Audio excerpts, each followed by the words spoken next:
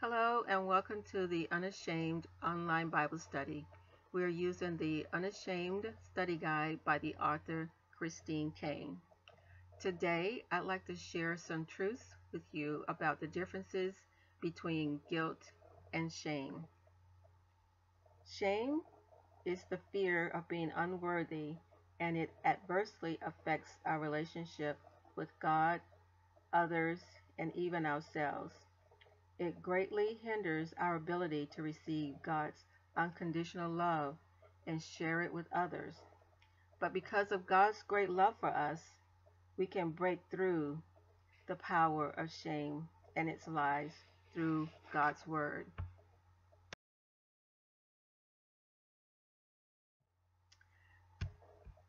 Shame is a powerful, um, powerfully painful emotion. It whispers lies to our souls. It pushes down and prevents us from becoming all we can be.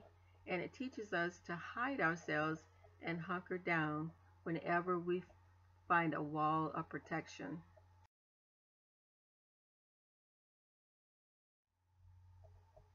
There are many feelings of shame, humiliation, disgrace, unworthiness, embarrassment, anger, dishonor, remorse, anguish, sorrow, and self-reproach.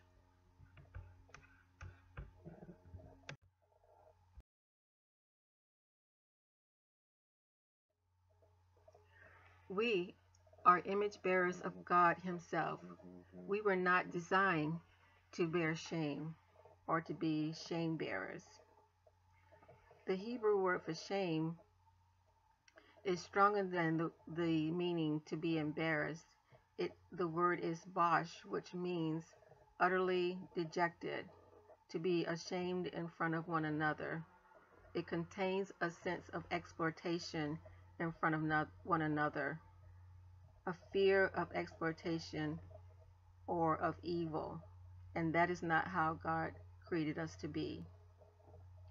According to Dr. Brene Brown, the author of Women and Shame, she defines it as intensely painful feeling or experience of being believing we are flawed and therefore unworthy. Her definition and description of guilt is guilt says that we've done something bad or you've made a bad choice. Shame says you are bad. And there is a big difference between you've made a mistake and you are the mistake. Christine Caine puts it this way Guilt is about my do, shame is about my who. God wants us to understand and take responsibility for our actions.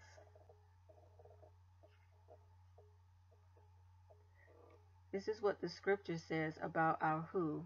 It says that we are wonderfully and fearfully made. The power of shame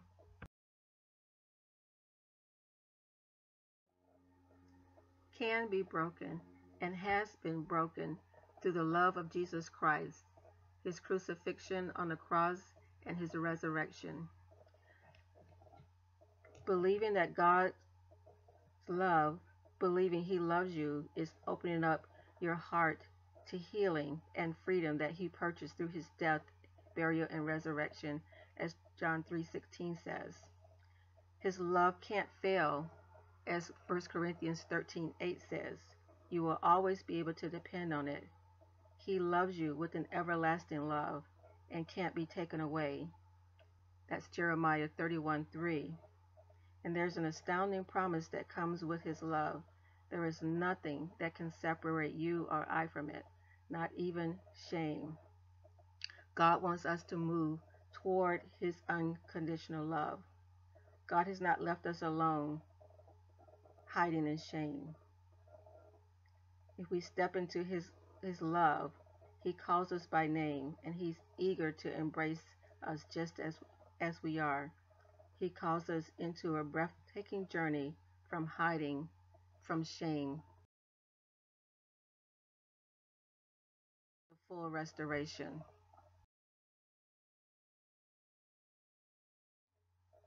Psalms 118:5 says, "The Lord answered me and set me free." When we ask God to open up our hearts to his love, we can and will be set free. With faith, it doesn't erase any of our insecurities, doubts, fears, or even shame. It overcomes them all through our faith.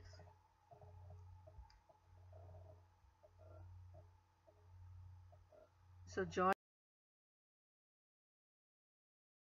Shame has no place in the purpose, plan, and destiny that Jesus came to set us free from from all the shame, the guilt, the heartache, the pain, all of those feelings that we feel when we feel like we are unworthy.